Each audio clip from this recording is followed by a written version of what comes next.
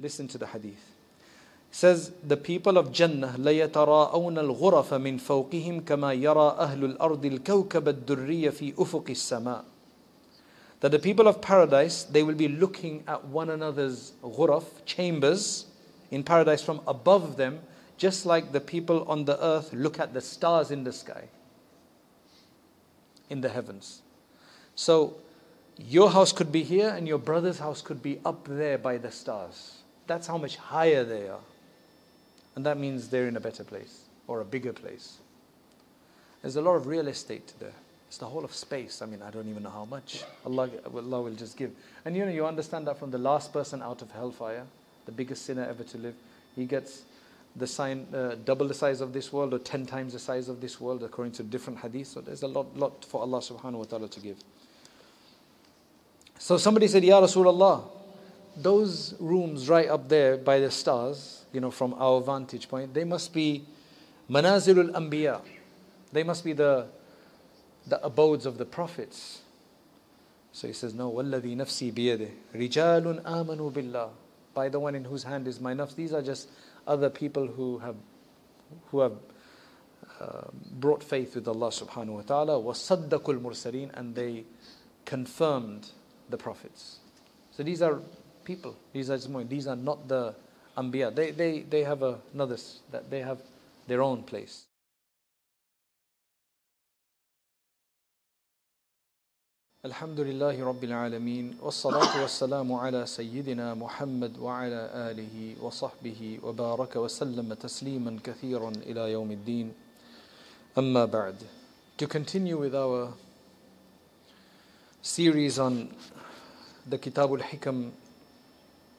of Ibn Ata'illah al-Iskandari with its commentary by Sheikh Abdullah Gangohi rahmatullahi alayhi rahimahumullah. We are on page 114 and wisdom number 195 on page 114 of the book of wisdoms. So this is what he says. I love this one. This is one that makes you really understand why we worship and what Allah subhanahu wa ta'ala wants from us in our worship. So this is what Ibn Ata'illah al-Iskandari rahimahullah says. He says, علم قلة نهوض العباد إلى معاملته فأوجب عليهم وجود طاعته فساقهم إليه بسلاسل الإيجاب عجب ربك من قوم يساقون إلى الجنة بالسلاسل um, He knew of the irresolution of servants in dealing with him. He knew of the irresolution. Irresolution means how we would delay doing his worship. We'd be lazy. We need a lot of encouragement. So he knows that about us because Allah created us. So, because he knew of this irresolute nature of the servant in dealing with Allah, so he made obedience to him obligatory for them. He made it wajib. Allah subhanahu wa ta'ala knew that people would be lax. So he says, okay, you have to do this. Because when you have to do something, you take it more seriously. Thus, he drove them to obedience. Allah is driving us to obedience. He's pulling us to obedience with the chains of obligation. वजूब की जंजीरों के साथ हमें खींच के इतात करा रहे हैं that's essentially what he's doing and then he mentions a hadith he says your lord is amazed your lord is amazed at people who are driven to paradise with chains यानी कैसी ताज्जुब की बात है कि जंजीरों के साथ जन्नत में खींचे जा रहे हैं like it's amazing that is so this one's always amazed me, subhanAllah, that the reason Allah subhanahu wa ta'ala is making us do this obligation is He wants us in Jannat. But if He left it to us, then because we're lazy and distracted, we have so many other things to do nowadays and all the time. So that's why He says, I'm going to make this obligatory on you. Because at least you'll get to Jannat that way. Allah subhanahu wa ta'ala, uh, Ibn Ata'illah is mentioning the wisdom, the hikmah of why Allah subhanahu wa ta'ala has made certain things obligatory on us. However, what we have to understand is that this hikmah, this wisdom, is important and really important to know for the people who just look at the apparent reasons of why we do things. Those people who've understood the real essence of worship, then this doesn't make any difference to them. Because they're doing it out of their love anyway. They know they're servants and that's what they have to do. So let's, what does that mean? So essentially, what he's saying is that when Allah subhanahu wa ta'ala knew that people might be a bit lazy in dealing with Him, in doing these things, that's why Allah subhanahu wa ta'ala says in Surah Saba, verse 13, وَقَلِيلٌ مِّنْ عِبَادِيَ الشَّكُورِ Little of my servants, only few of my servants, comparatively, are fully thankful, fully grateful. Like very few people are fully thankful and grateful. Because you know what? If we were really thankful, we'd be thanking Him probably throughout the day. You know, there's, I, I've, I've never, anytime you start thinking about what Allah has given you, then you can't stop thanking Him. But it's about remembering that Allah has given us so much and that He is giving us so much, then you'll thank Him. It's like basic things, basic things. You're sitting in your car and you're having a nice ride. It's, it's a reason to thank Allah subhanahu wa ta'ala. You're sitting within this nice AC place, it's a reason to thank Allah. You see uh, these clips that are going around about Pakistan and India, Gujarat, and in Karachi, where there's floods and people are, their houses are submerged in water. That, subhanAllah, shukr. We're doing shukr. Alhamdulillah, we're not like that. May Allah relieve them as well. There's just so many things to do shukr for. There's so many things. I mean, I sat here and I thought, mashallah, what a khidmah this masjid does. It gave two bottles of water. One was cold and one was room temperature. What wisdom, mashallah. And it's really good because sometimes you're giving a talk and they give you cold water and it gets your throat. SubhanAllah. So room temperature sometimes is better. But I was really hot, so I had the cold one. Allah Ta'ala protect the throat. But Allah reward the brother who did this. But it's a thank to Allah subhanahu wa ta'ala. Shukr, shukr, shukr, shukr. The fact that we're even sitting here right now and discussing Allah subhanahu wa ta'ala is shukr. I'm just giving examples. There, I'm telling you, anytime, anytime, anytime you want, think about something, you'll do shukr. Even if you're in major pain, there's still so many other things to do shukr for. But that's the problem. Majority of people don't do shukr like that. They're not shakur. They might do. They might be shakir sometimes. Shakir is shukr karne wala, a person who does some shukr. Shakur is the one who's intensely, deeply, profoundly thanking Allah subhanahu wa taala. Shakur is a. Uh, it's an intense version of it. May Allah make us of the shakur and the shakirin. Then Allah subhanahu wa ta'ala said in Surah Sad, verse 24, وَقَلِيلٌ مَّاهُمْ Very little of the people who fully are obedient and so on. That's the nature. That's the nature of people. Um, that's the category of people we come from. We hope to be in a higher category. So when Allah subhanahu wa ta'ala knows this anyway, He says, okay, I'm going to make some things obligatory on you.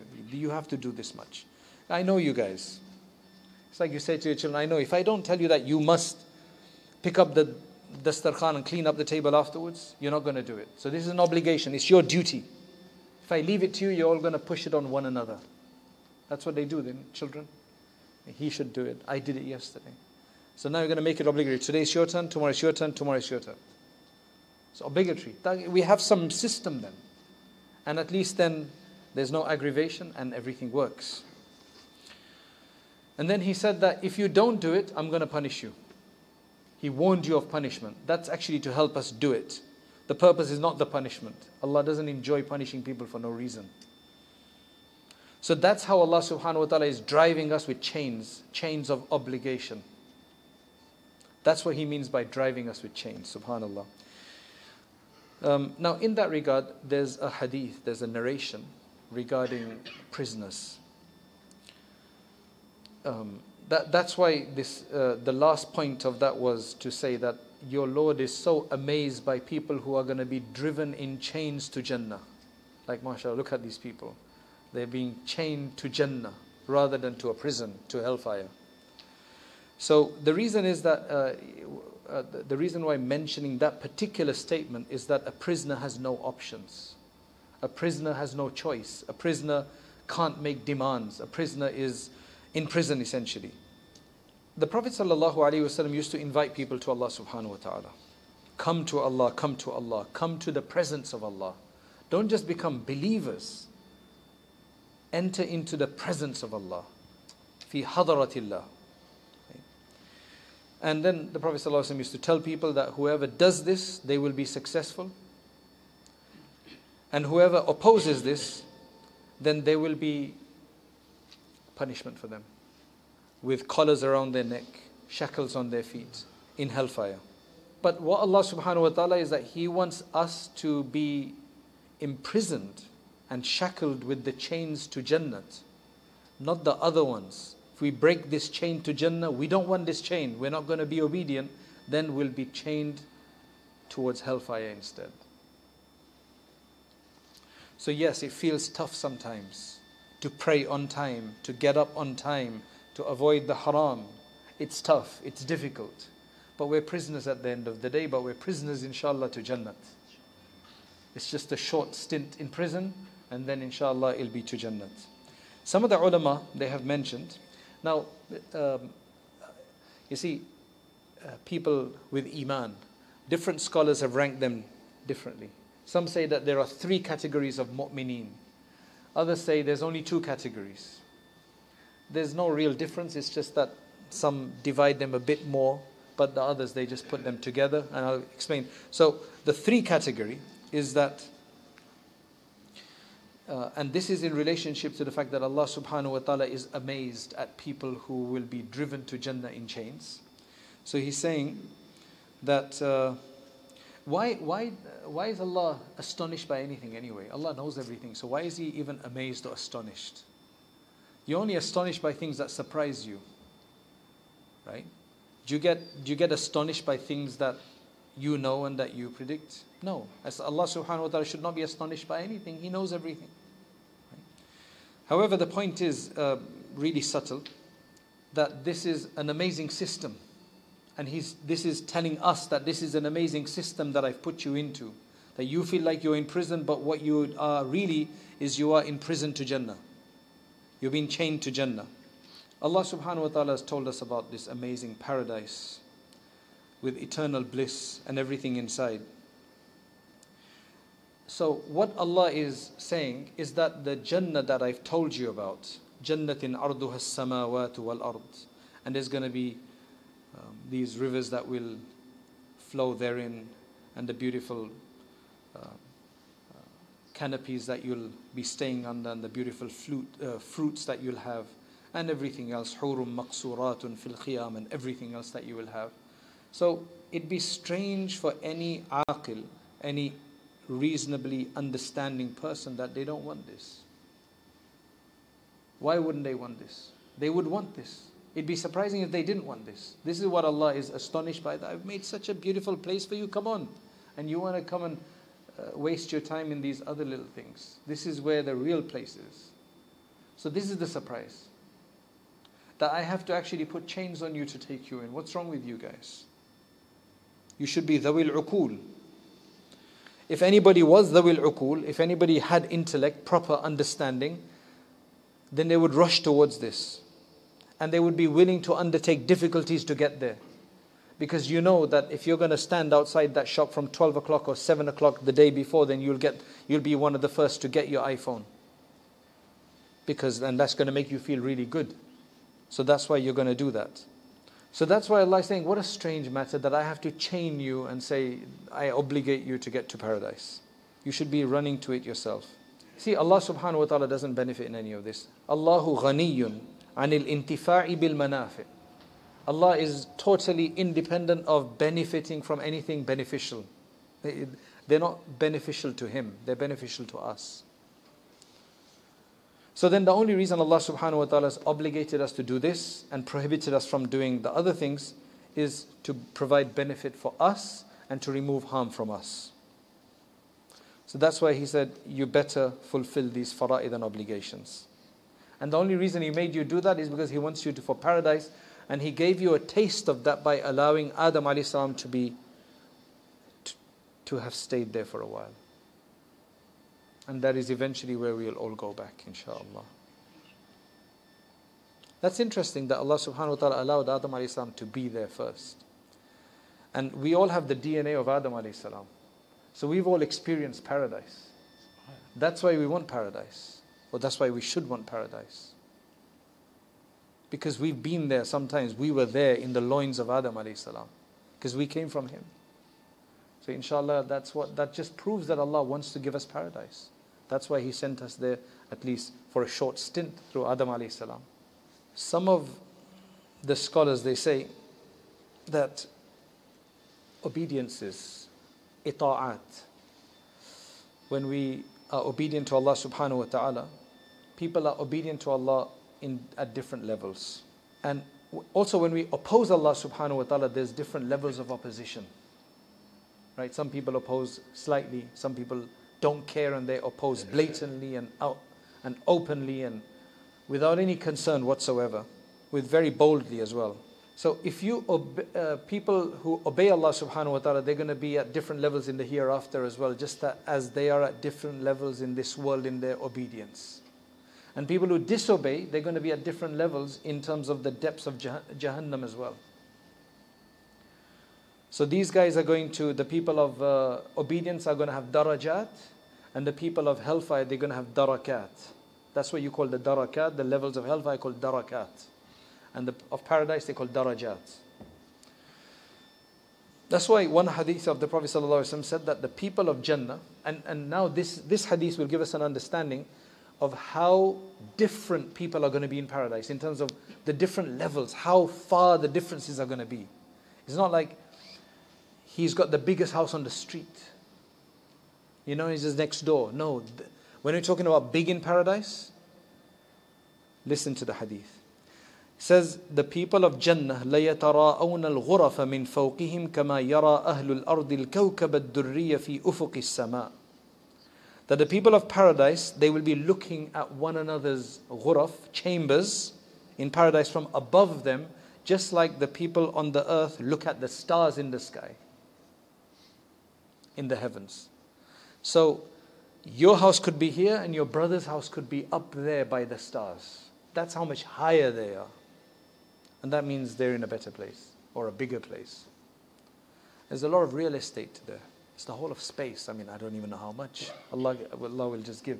And you know, you understand that from the last person out of hellfire, the biggest sinner ever to live, he gets the sign uh, double the size of this world or 10 times the size of this world according to different hadith. So there's a lot lot for Allah subhanahu wa ta'ala to give. So somebody said ya rasulullah those rooms right up there by the stars you know from our vantage point they must be manazilul anbiya. They must be the the abodes of the prophets. So he says no walladhi nafsi biyadih rijalun amanu billah. By the one in whose hand is my nafs. These are just other people who have who have uh, brought faith with Allah subhanahu wa ta'ala was saddaqul mursaleen and they confirmed the prophets. So these are people, these are these are not the anbiya. They, they, they have another, that they have their own place. So now, as I was going to tell you before, some, uh, some ulama have divided believers into three categories. Um, and you need to understand this so you don't get confused. The first category, he says, uh, is that servant who worships Allah subhanahu wa ta'ala purely because he's a servant. He just knows, I'm a servant, that's what I need to do, I got no other option, that's what I do. I'm a servant, that's all I do, that's my life, that's my existence. I'm just a slave of Allah. Just uh, a few days ago, somebody contacted me and says, I do dhikr, I'm regular on my dhikr, I'm doing all my other worship, I don't do anything haram, whatever, but I have no sukoon in the heart. You have no sukoon in the heart. I said the only way to gain sukoon is when you fully have give up to Allah subhanahu wa ta'ala. When you when nothing nothing bothers you because you know that I'm just a servant of Allah, whatever. There must be some pareshani in your life that is bothering you. There must be some desire you have which is not being fulfilled. So while you're like, yes, I believe in Allah, whatever He says, but do I have full rada bil qada? Do I have full satisfaction with the decree of Allah? And I think there's no way you can get full sukoon until you just eradicate everything and you just become total slave of Allah subhanahu wa ta'ala, which is a big. I said, don't worry about it. That doesn't mean that you should stop doing dhikr because you don't get sukoon. That's the shaitan making you do that. To get full sukoon, I mean, mashallah, that's, it's a grace of Allah subhanahu wa ta'ala. He gives it to whom He wishes anyway. And it's not beyond Allah to give it to anybody. So, anyway, this first category of people, they are a servant who worships Allah purely because they're a slave. And it's not like I'm a slave, I don't like this, and I'm just a slave, so I must do it anyway, I'm going to get beaten up. No, shukran. Out of thanks for Allah that, you know, I've just got this existence and maybe I'll go into Jannah. You know, maybe I'll be close to you. Right? Wa imtithalan. And I have to do this anyway because what else can I do? I can't do anything else. I'm just a slave. That's what I do. وقياما بحق الخدمة and a person who wants to fulfill the khidmah and the service of Allah subhanahu wa ta'ala with, with great love and understanding. So, what does Allah give such a person then? This is just not one sided. Allah subhanahu wa ta'ala doesn't waste the deeds of anybody. فزاده الله الوجوب فزاده الوجوب شرفا وعلو درجة Allah subhanahu wa ta'ala will increase this person in honor and in higher status. The second person, the second category is abdun Allahu ta'ziman lil mawjub. Is the person who worships Allah subhanahu wa ta'ala by honoring whatever is obligated to him. He's honoring what's obligated him. He doesn't have the full servitude like the first person, but he still honors what he has to do that I must do this, I respect what I have to do, so I must do this. So in this case, the wujub, the obligation that's placed on him. So in the first category, the obligation that was placed on him was just to honor him. That yes, you, you're a servant, we know you believe you're a servant, but this is just to honor you that yes, we're making you do this out of honor. You know that you, we know you respect us and thankful to us and so on anyway. The second category of person, the obligation on him is just to remind him.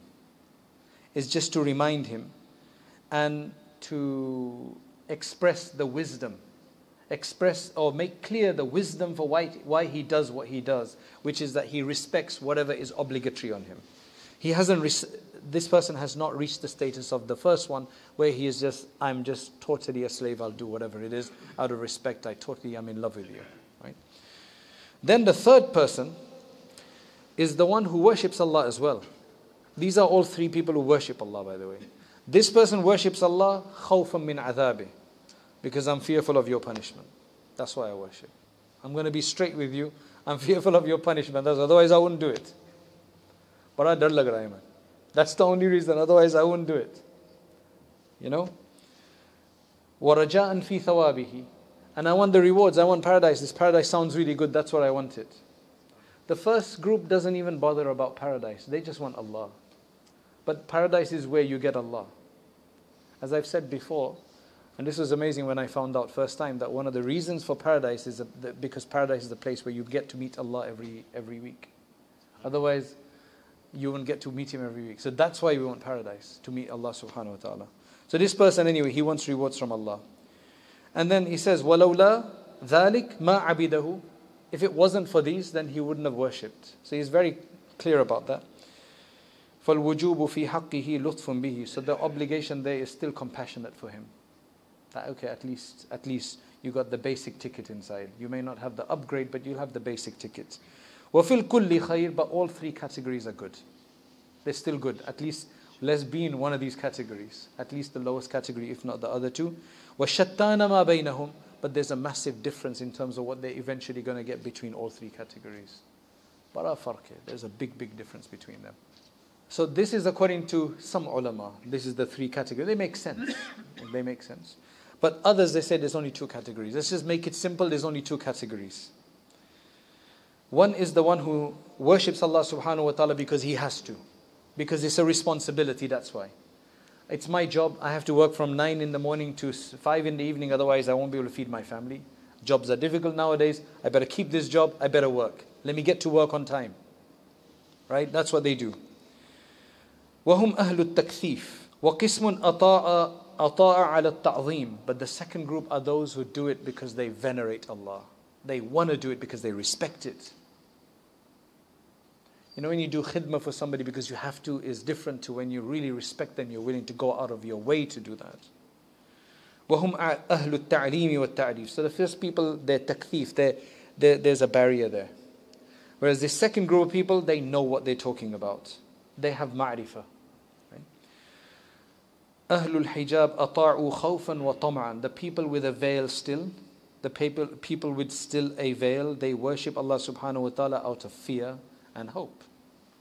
And the people who have experienced and who know the truth about Allah subhanahu wa ta'ala fully, they just worship out of love and thanks.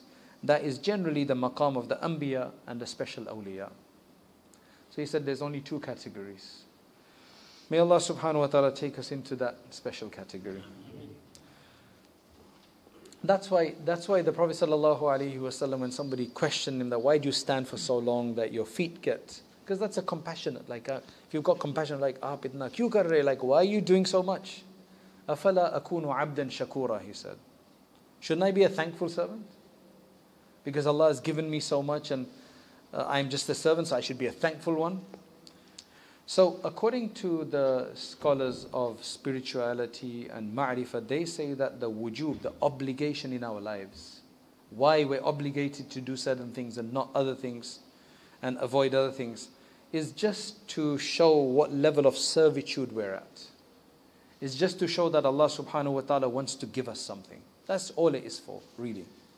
Suddenly that just becomes a bit easier. You know, when you know that I have to pray and I'm obligated to pray and so on and fast and zakat and everything because that chain is going to take me to paradise. Does that make worship a bit easier now? Well, I hope it does because that's the purpose of it. It, it did for me. It made it a bit like, Alhamdulillah, you know? Because now I know what's going on. It just makes it easier. So the obligation, there's no intrinsic benefit of the obligation itself. It's for the purpose. It's for ulterior purpose. Is to, is to fulfill Allah subhanahu wa ta'ala's uh, desire with people that they should go to paradise. That's the, that's the purpose. But still, there's some people they say, I don't care about that.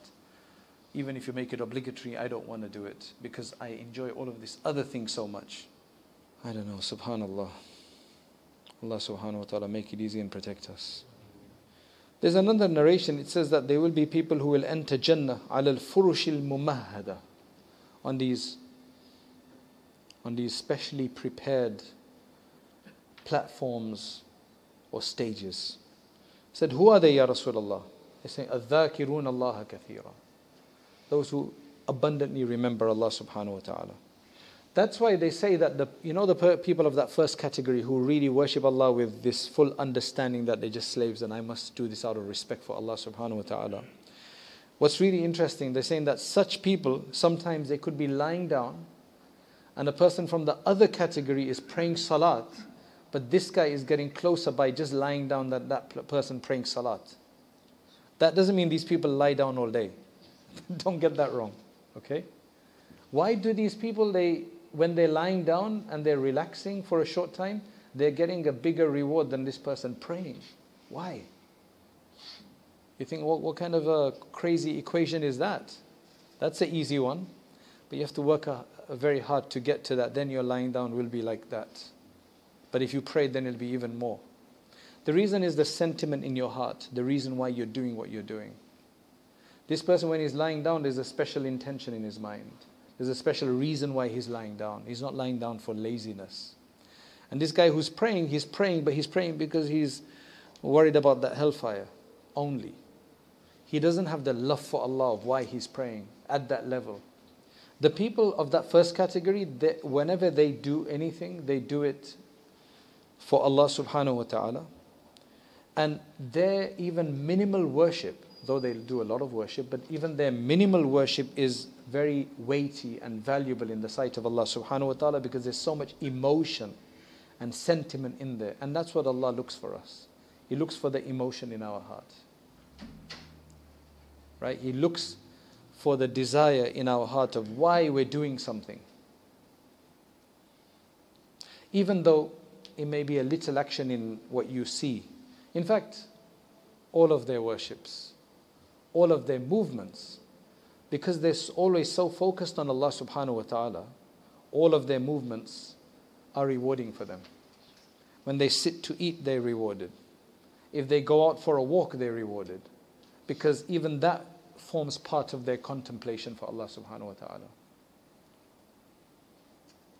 إذ تصرفاتهم كلها عبادة نومهم عبادة Their sleeping is worship وأكلهم عبادة Their eating is worship because they're eating for the right reason They're sleeping for a very particular reason. وَمَشْيُهُمْ عِبَادَةً That's why there's this statement, it says, نَوْمُ الْعَالِمِ عِبَادَةٌ Not every alim, I wish it was. The sleep, the, the sleep of a scholar is a worship. As long as doing for the right, he's a proper scholar, then his sleep is worship. Right?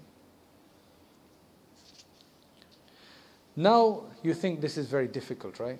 How are we going to reach this status? So this is how he ends it with. He says, وَلَا يَسْتَغْرِبُ الْعَبْدُ مِن نَفْسِهِ بُلُوغَ هَذَا الْمَقَامِ Nobody, nobody should think that this is impossible for us to reach. Like, how am I going to reach this? Why am I speaking in Urdu today? I don't know, when I see some people who I think are better with Urdu, I don't know, I just feel like speaking Urdu. असर होता है Are you better with Urdu? जी चलो आपकी आपका ये आपका आपकी तवज्जो है और आपकी तवज्जो है माशाल्लाह So anyway, nobody should think, nobody should find it difficult and impossible that they could reach this status. فَإِنَّ فَضْلَ اللَّهِ لَا يُنَالُ بِسَبَبٍ Because the grace of Allah can't be achieved through any particular means. But وَقُدْرَةُ اللَّهِ صَالِحَةٌ لِدَرْكِ كُلِّ مَطَالِبٍ The ability of Allah subhanahu wa ta'ala, the qudrat of Allah is absolutely capable of allowing you to reach whatever objective. So we're not going to do the next one today, but in the next one, that's exactly what he explains. He says that anybody who finds it impossible that Allah can pull him out of his desires that he's been struggling with for the last 10 years. Because you've been struggling for the last 10 years. When is Allah going to take me out of this sin that I've been committed? And he thinks, He can't, Allah can't take me out of this. I've been trying for 10 years. And how is Allah going to take me out of this heedlessness? Then he has belittled the capability of Allah subhanahu wa ta'ala, the divine capability. Allah كان الله على كل شيء مقتدرا Allah has ability over everything. So his focus needs to turn to Allah subhanahu wa ta'ala. So let us read now the summary of this commentary by Sheikh Abdullah Gangohi rahimahullah what he says to round this up or round this off rather. He says in every state and circumstance, the worship of Allah Most High and the display of one's ubudiyat and servant, servanthood are imperative and incumbent on the servants of Allah. We have to be obedient anyway. And this is the demand of intelligence, whether Allah Most High decrees that worship is obligatory on us or not. Even if, if he, even if He had not made it obligatory, we would still have to worship Him because that's who we are, that's what we're supposed to be. Because the duty of the slave is servanthood, regardless of whether his master commands him to do that or not. Just think, if there were, if namaz and salat was not obligatory, would we have prayed five times a day? Have we found in our salat such pleasure that, you know, I don't care if it's wajib or I'm going to pray? Once in a while, I guess. But would you think we would have prayed five times a day because we enjoy it so much and we know why we're doing it so much? Otherwise, like, oh, it's not obligatory, farz to nahi hai. You know, so nafil hai, you know. But on account of man's indolence and defects regarding the rendition of worship, and out of Allah's boundless mercy, Allah Most High decreed the duties of worship obligatory on his servants. Along with this, he notified them of his promise of paradise for obedience. I'm gonna, not going to make you do it for free, I'm going to give you something. He further warned the transgressors of the chastisement of hell. The similitude, the example of this imposition of worship as an obligatory duty is like a chain that is tied around the neck of a prisoner. The prisoner is taken by means of the chain in a desired direction. Oh, I don't mind. You're taking me uh, to, uh, to enjoy myself. No problem. I can go with a chain. That's okay. In fact, most people are in chains of shahwat. And they think of, of their haram desires. They're chained to them. That's why they have to go there. That's why you feel like you must go there. You, you have to go there. And you miss out on good things because you feel like you must go there. That's so enjoyable. That's a chain. This is you can't, we can't see the chain.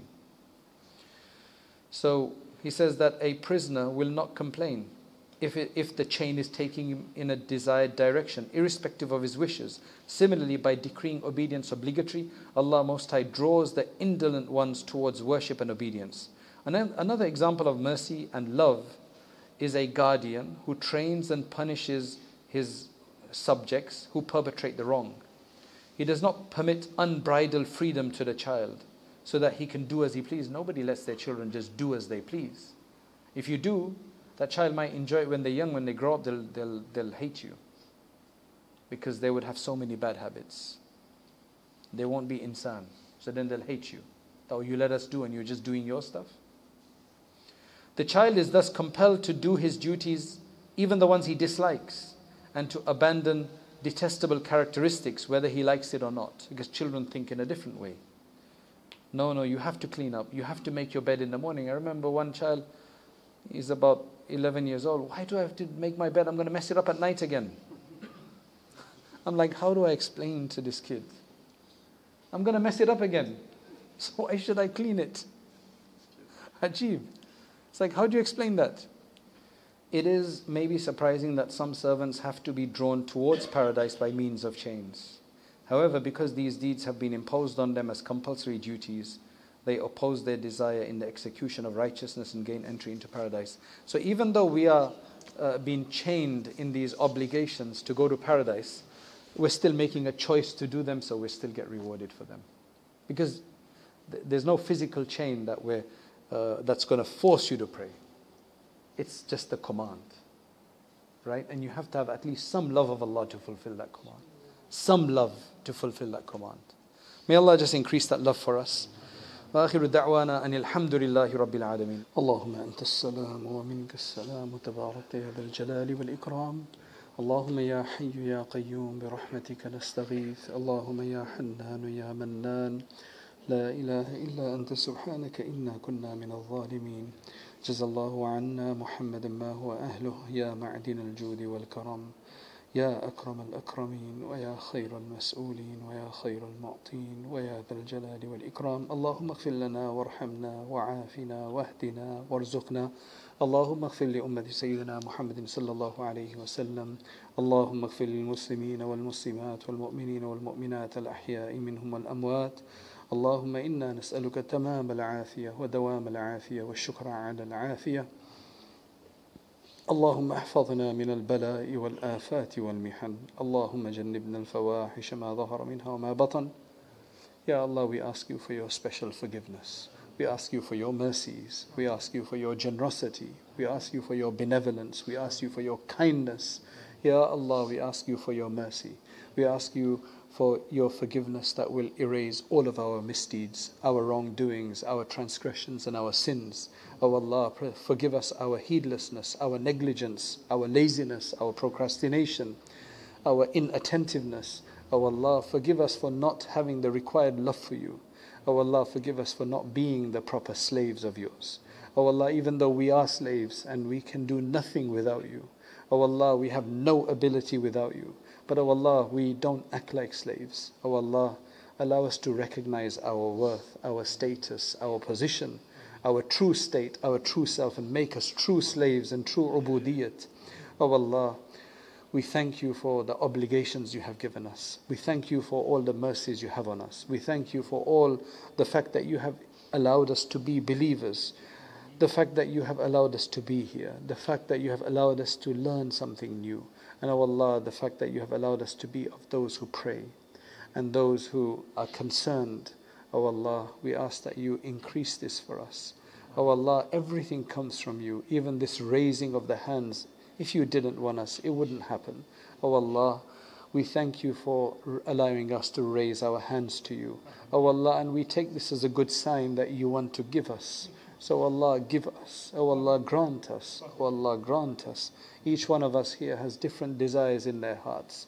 O Allah, different needs in their life. O Allah, different things that they want. O Allah, each one you understand directly. Each one you can see. Nothing is hidden from you. O Allah, grant each one who is listening, who is praying to you, O Allah, what's in their heart, whether we ask for it or not. O Allah, grant us what's beneficial for us. And O Allah, do not test us. O Allah, we are weak. O Allah, O Allah, allow us to stand tall. Allow us to stay away from the shaitan. We are tired from fighting against him. O Allah, we wake up with a good intention in the morning, but by the evening we have sometimes lost it. O Allah, O Allah, we have good intentions in the evening, but by the morning we have lost it. O Allah, keep us steadfast, keep us straight. And O Allah, grant us halawat al iman, grant us the sweetness of faith, grant us sukoon. O Allah, grant us blessings. O Allah, grant us the tawfiq to remember you abundantly and to remember you constantly. And O Allah, make us your true servants and true slaves. Make us of the group of the awliya. Make us of the group of the higher believers. Make us of those who are just longing to meet you and you are wanting to meet them. O Allah, make the, our final days our best days of our life. And O Allah, remove these difficulties that people are facing today. The insaniyat bring back to the human being. The, the oppression that many, many believers are uh, feeling around the world. O Allah, remove that subjugation. Protect our Masjid al-Aqsa. Protect our believers in in India and all the other places where there's difficulties. Oh Allah, we ask that you protect the Haramain al-Sharifain and allow us to go there, allow us to frequent there, allow us to go there and benefit from your closeness. Oh Allah, we ask that you protect our children and our progenies until the day of judgment from all the evils which are out there. O oh Allah, accept us and fulfill all of our permissible needs and our permissible projects and anything good that we have done, make it truly for your sake with sincerity and assist us and protect us from all the uh, the difficulties and obstacles and evils which are out there. Oh Allah, accept our du'as and bless all of the people of this masjid and who cater for this program and who organize this program. Oh Allah, everybody who assists, oh Allah, accept them. Subhana rabbika rabbil izzati amma yasifun wa salamun al-mursalin walhamdulillah. Uh, the point of a lecture is to encourage people to act, to get further, an inspiration, an encouragement, persuasion. The next step is to actually start learning seriously, to read books, to take on a subject of Islam and to understand all the subjects of Islam, at least at their basic level, so that we can become more aware of what our deen wants from us. Uh, and that's why we started uh, Rayyan courses, so that uh, you can actually take organized lectures uh, on demand whenever you have free time, especially, for example, the Islamic Essentials uh, course that we have on there, the Islamic Essentials Certificate, which you take 20 short modules. And at the end of that, inshallah, you will have gotten the, the basics of uh, most of the most important topics in Islam, and you'll feel a lot more confident. You don't have to leave lectures behind. You can continue to leave, uh, you know, to listen to lectures, but you need to have this more sustained study as well. Jazakallah khairan. Assalamu alaikum wa rahmatullahi wa barakatuh.